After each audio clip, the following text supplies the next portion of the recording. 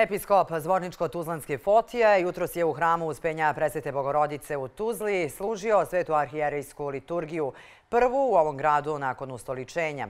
Vladika Fotije poručio je da se nada da će malobrojnim pravoslavnim hrišćanima koji su ostali da žive u Tuzli biti bolje, te da će ovaj grad ponovo biti grad mira, tolerancije i suživota. Veliki broj vjernika prisustvovao je svetoj arhijerejskoj liturgiji u Tuzli. Oni su pristigli iz svih dijelova eparhije Zvorničko-Tuzlanske i sa radošću su dočekali novog vladiku. Danas je poseban dan za sve Tuzlake, bez obzira da li još uvijek žive u ovom gradu ili negdje drugo. Tradicija je nešto što održala narod.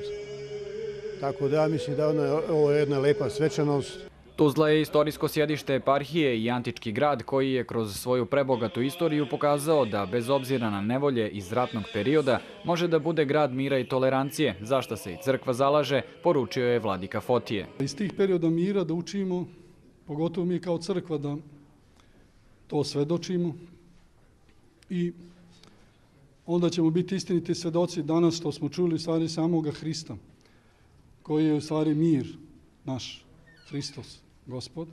Bogosluženju i svečanom prijemu u Vladičanskom dvoru prisustvovali su i zvaničnici Tuzlanskog kantona. Čekujemo da zajedno nastavimo da njegujemo na opšte zadovoljstvo i opšte dobro svih naroda ovdje u Tuzlanskom kantonu, da njegujemo dobre međususjedske, međunacionalne i međuvjerske odnose.